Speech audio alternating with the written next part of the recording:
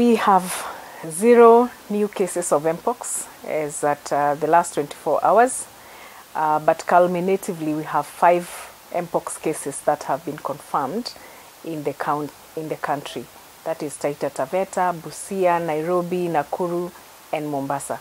That means this week we have a new case of mpox to make it five. Uh, two are already healed and they have uh, uh, gone to their respective areas.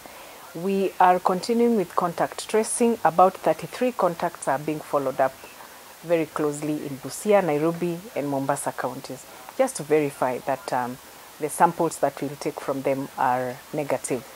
Um, we have processed, received and processed about 124 samples, and nine are awaiting um, laboratory samples. All the others, about 110, are negative. And again, we in the last 24 hours, we have screened more than 17,000 people at all ports of entry. And culminatively, more than 650,000 people have been screened in all, on all ports of entry in Kenya. Uh, when you have signs and symptoms which are very clear that you visit the nearest uh, health facility for assessment and treatment should the case be confirmed.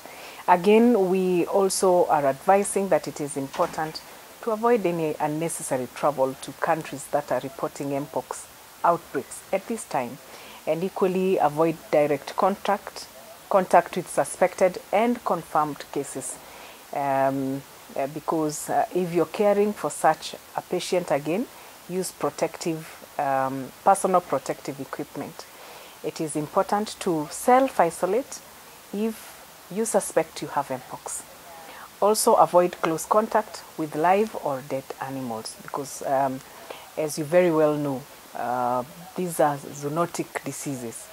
Uh, it is important to avoid close contact with anyone showing mpox signs and especially sexual contact on the same. Yes, we confirmed the fifth case this week of mpox in the country. It was involving a 29-year-old female from Mombasa, uh, a resident of uh, Mombasa, and um, the patient has seen has been seen at Coast General Hospital. That is on the 28th of August, and the patient is uh, currently in isolation at Utange Hospital, Mpox Isolation Center. So while the patient has no recent travel history uh, to a country reporting Mpox case, the spouse had recently traveled to Rwanda and returning on 24th of August. So he's also hospitalized with similar symptoms in Nakuru and is, um, uh, is the fourth confirmed Mpox case in the country.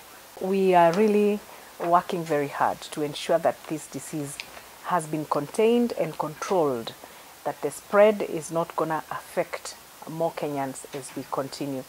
Um, we also want to reassure the public that our, our healthcare facilities are fully prepared to diagnose and treat mpox. And that is why we have uh, collaboration between ourselves and the county government so that our teams are also trained on preparedness. We have sent uh, information to them, guidelines, to ensure that they follow the procedures that are laid down.